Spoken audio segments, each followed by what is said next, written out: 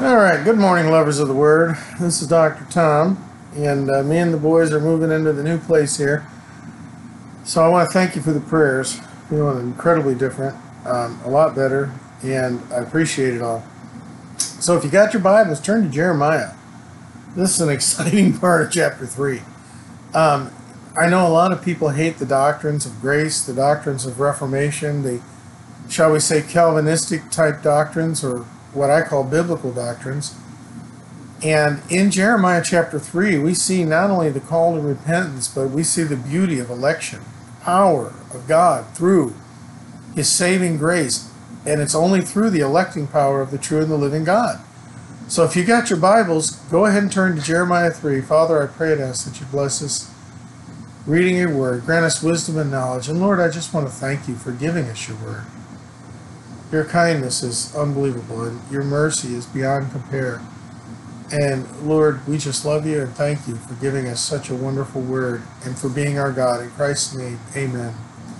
All right, this gets really exciting. So if you got your Bibles, go ahead and turn on over there, and um, we're going to begin our reading at verse 12.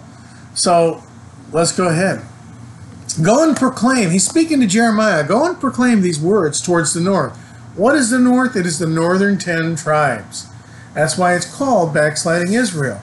You see, the northern ten tribes were already under the Assyrians. The Assyrians had conquered them, they had settled troops there, and we're going to see that it's causing a great deal of stress. I mean, nobody wants to be enslaved, nobody wants to be conquered by another nation, nobody wants their life abruptly changed, but that's exactly what has happened here.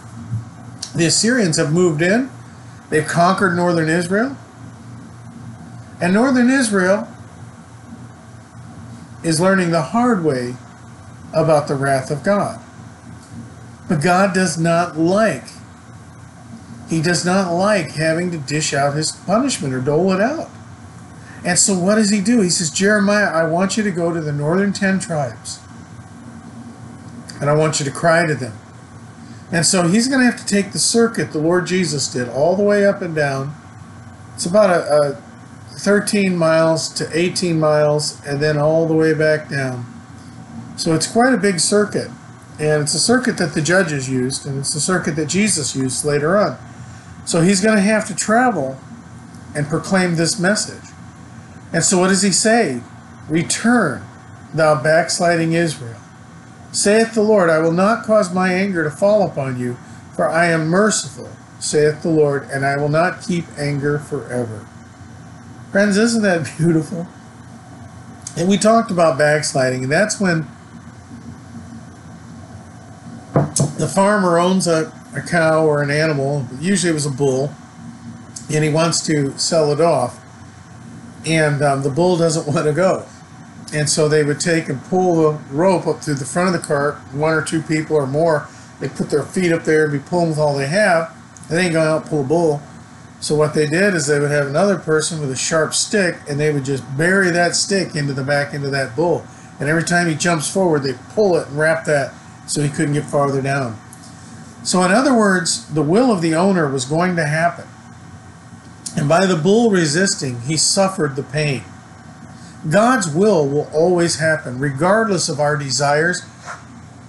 Friends, it is not God's purpose to make sure we are comfortable and that our lives are all sweet and, and nicely tucked. God's will is this is that we worship and serve him and that we know the Lord Jesus Christ as our personal savior, friend, and God.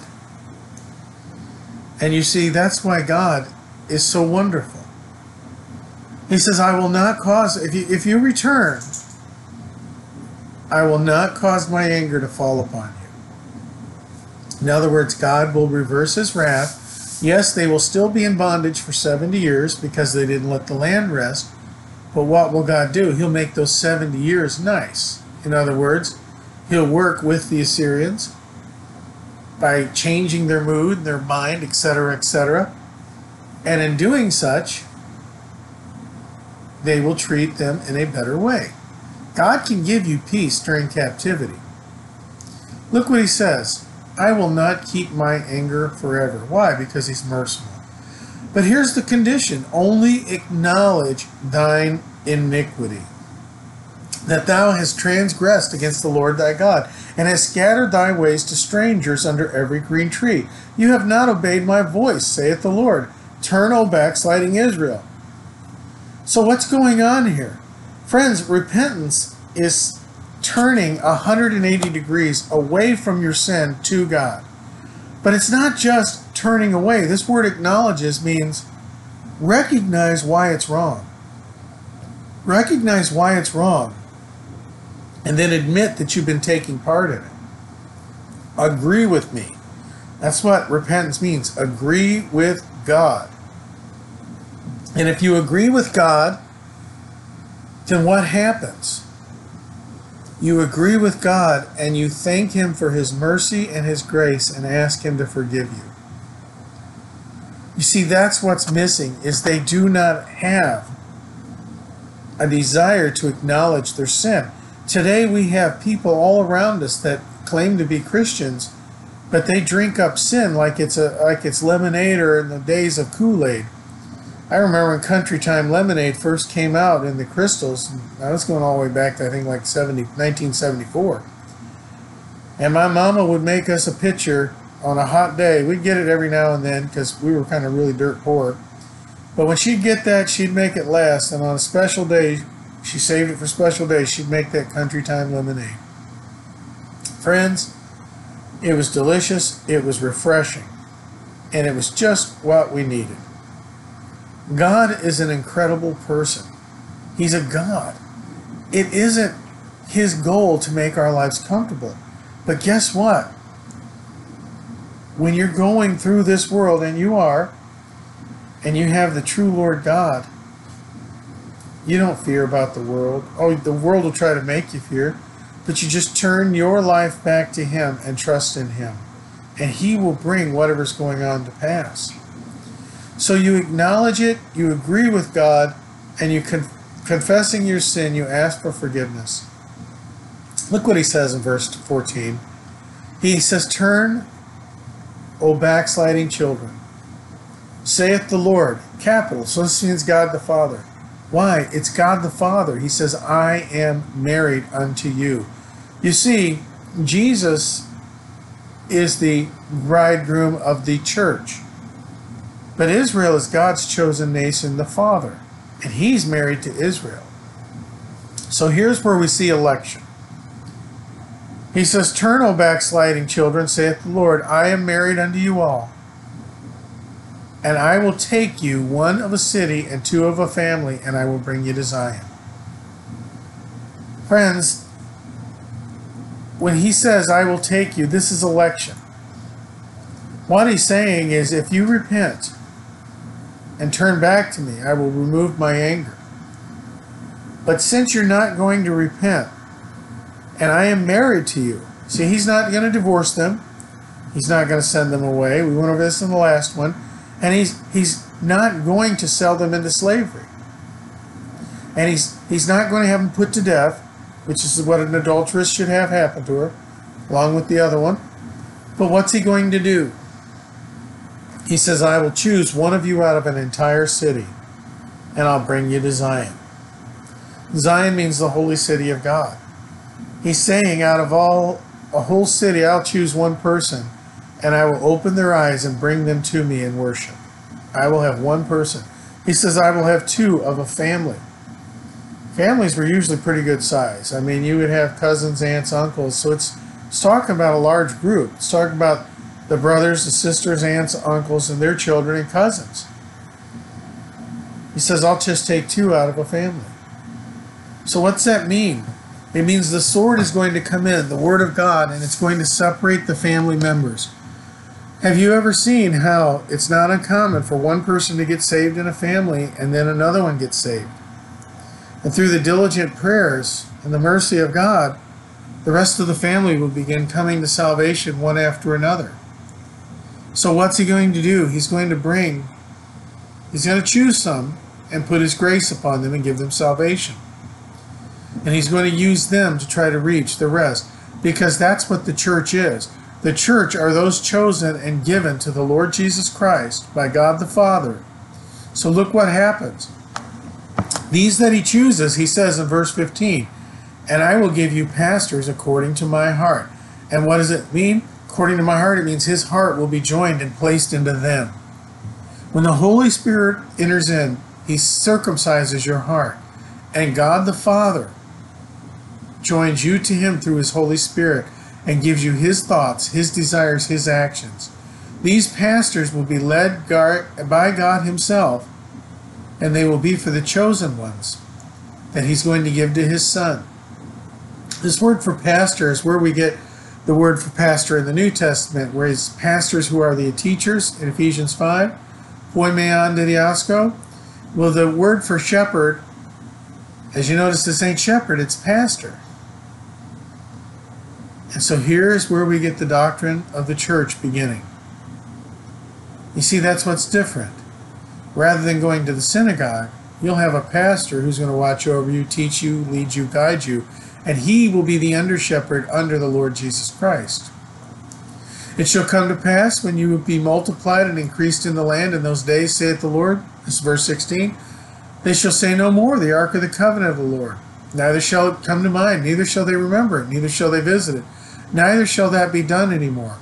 At that time they shall call Jerusalem the throne of God, and all the nations shall be gathered into it, unto the name of the Lord, to Jerusalem. Neither shall they walk any more after the imagination of their heart. In those days the house of Judah shall walk with the house of Israel. They shall come together out of the land of the north to the land that I have given for an inheritance to your fathers. But I said, How shall I put thee among the children, and give thee a pleasant land, a goodly heritage, and a host of nations? I said, Thou shalt call me Father, and not turn away from me. Friend, what he's talking about is the final ingathering. He is going the church is right in there, and then through the church, he says, I am going to begin calling salvation to my children. That's the Jews.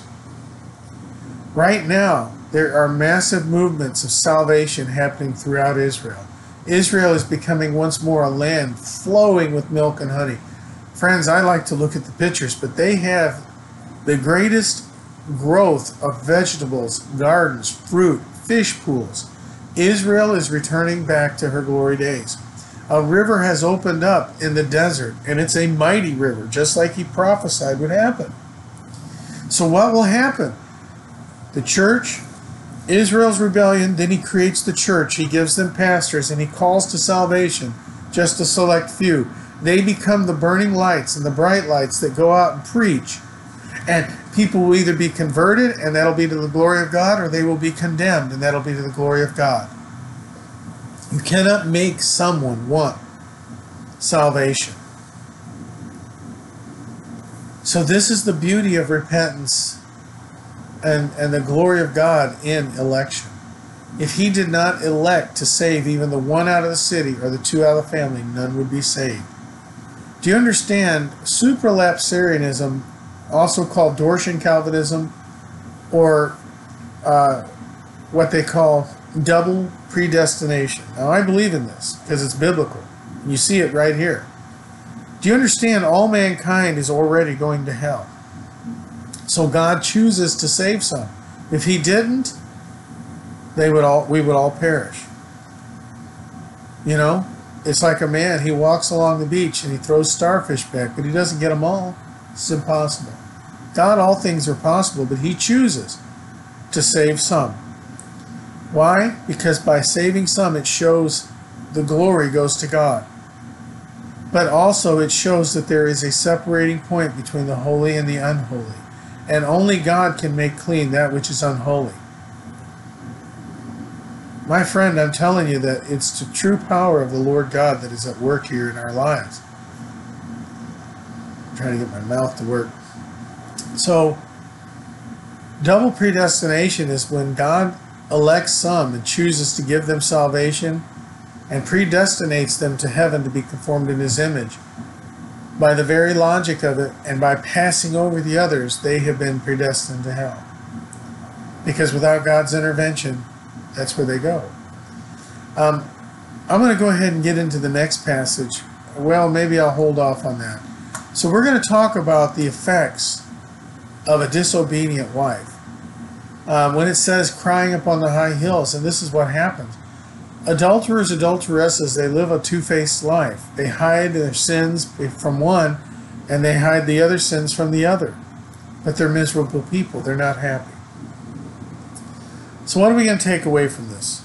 We're going to take away from this. You can never get too far from God. If He's elected you to salvation, you are going to the holy city.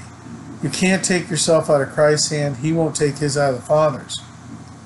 But know this you must repent of your sins. God will not be angry forever. He will be merciful, and He will give you pastors, teachers, to lead you and guide you in the faith. And you will be in that holy city where the throne of Christ sits and rules and reigns from. All right, Dr. Tom, I hope you appreciate these studies in Jeremiah. They're pretty, I should say, sobering. Um, there's not, not, not a lot of cheerful reminiscence here, but we see the truth, and it's where the rubber meets the road. It's where God takes and brings the sobriety out. All right. Lord bless you all in Christ's love. This is Dr. Tom.